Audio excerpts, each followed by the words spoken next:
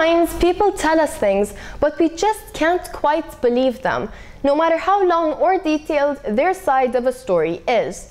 That's because their gestures and facial expressions contradict with what they're really saying or what they really mean. So, what are the gestures that we're supposed to look out for when we suspect that a person may not be telling the truth? شو هن الأشياء اللي تخلينا نعرف إذا الشخص عم بيضحك علينا ولا لا؟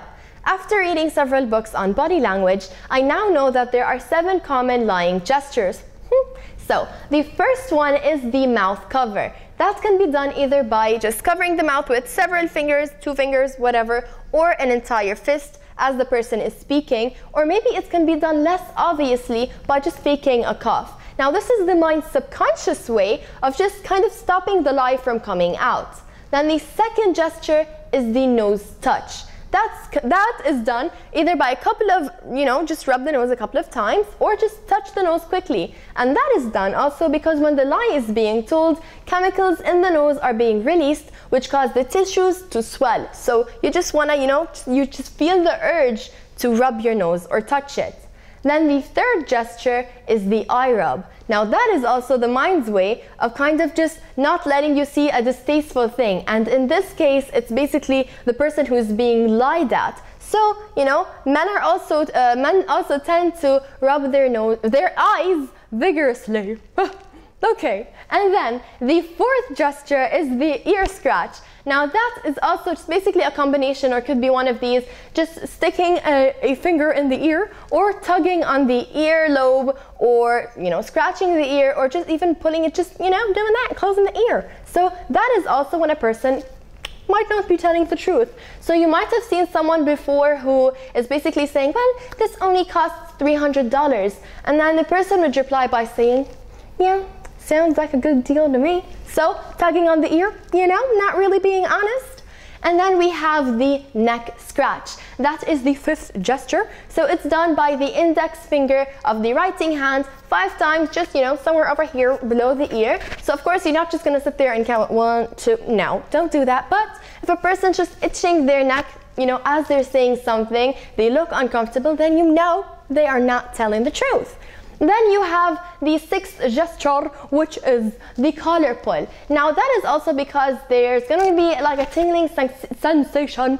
Oh, what happened? A tingling sensation right in the neck area. So the person is going to satisfy that by pulling or tugging on the collar of their top. So, you know, mm -hmm. and then you have the last seventh gesture, which is the arms.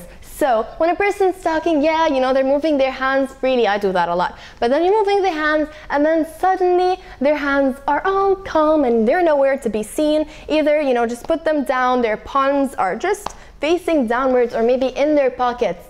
So they're basically hiding their hands, their palm. So that means they have something that they're hiding. They're not exactly being honest. That's actually my favorite to see if someone is like moving their hands and then suddenly they just calm down. Now, these were the seven gestures to know if someone may be lying or not. But something that you need to keep in mind is if someone is someone has their hands in their pocket does not mean that they're lying.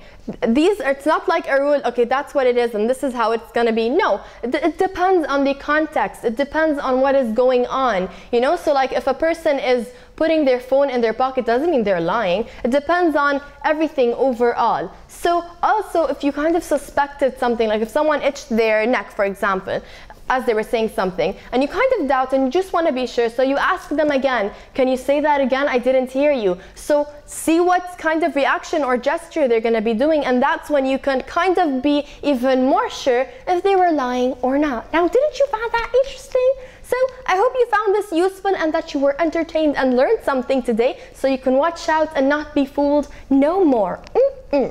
So don't forget to follow me on Instagram, Twitter, or Facebook so we can gossip together. And also be sure to click the subscribe button so you can see more videos. Take care. Your hair is done just the way you want it to be and your makeup is perfect. So you take one last look at the mirror before you start rushing out because you know you're late most of the time. And then you So for the first fact, did you know that large plates make the portion of food in them appear smaller than it really is? And also small plates